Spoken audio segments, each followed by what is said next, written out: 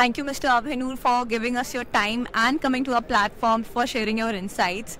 I would just like to know your views on the global collaboration in medical device innovation, the panel discussion we, had, and what are your views on that?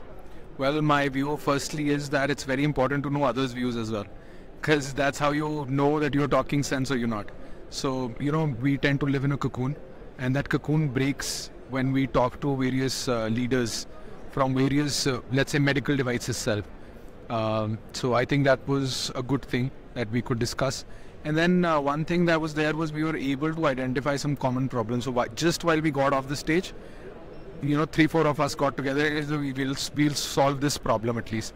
That's that's a benefit of such platforms. So I would want to congratulate you guys for doing this, uh, and I hope uh, we were able to give the insights of the industry to to delegates that have come here.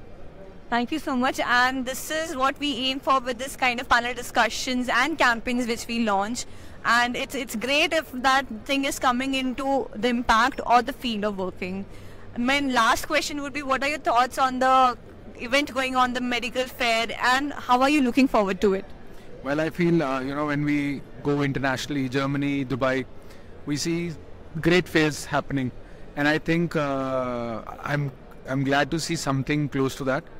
Uh, but we have a long way to go. So wherever we collaborate, we all can collaborate and make this better. We should do that because this is a great way to exchange knowledge, to eh, you know kind of uh, impact various stakeholders in the medical field.